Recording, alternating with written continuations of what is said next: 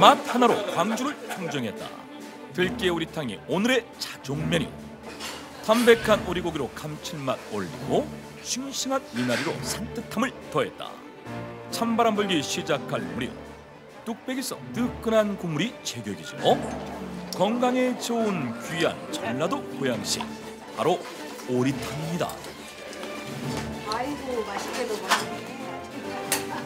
잡아놓는 것은 좀 살 이런 것들이 좀 질기고 뻣뻣한데 이거는 싱싱하기 때문에 이 육질이 있으면 부드럽고 식감이 좋아요. 그리고 미나리의 향기라 그 향긋한 그 향기 있잖아요. 향이 좋잖아요.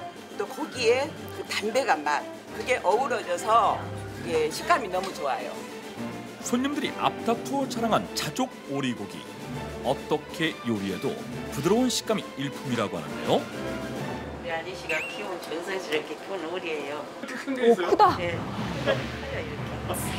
오늘의 자족 식재료 특대 사이즈 오리 더 놀라운 건 따로 있었으니 지금 꺼내 드신 이것은 도끼 아닌가요?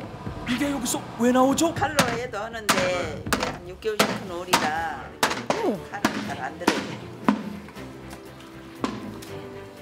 이런 색이 안 나요. 이런 양계장 오리들은. 근데 우리는 6개월 넘은 오리라 이렇게 예, 빨개졌어. 그 꽁거기 같아, 꽁. 일반 우와. 오리와는 때깔 자체가 다릅니다.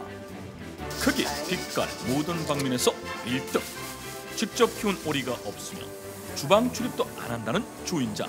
그만큼 자신감도 남다르다고 하는데요. 열리고. 특별한 양념이 뭐가 필요하랴? 주물러. 원재료가 좋으니 맛은 보장됐습니다.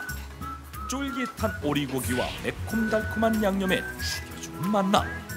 한 입에 손님들 입맛 넉다운 시키는 자족 오리 주물럭입니다. 향긋한 깻잎에 싸먹으면 게임 오버. 마늘까지 맛있겠다. 활용 점정. 감칠맛 폭발하는 오리 한 쌈. 담백한 맛에 손님들도 푹 빠졌다고 합니다.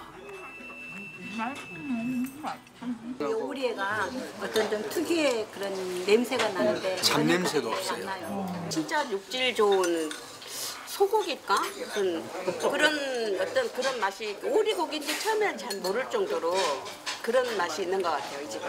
농장에서 바로 잡아와 가지고 그날 그날 다 소비를 시키니까 그 음식이 진짜 좋습니다.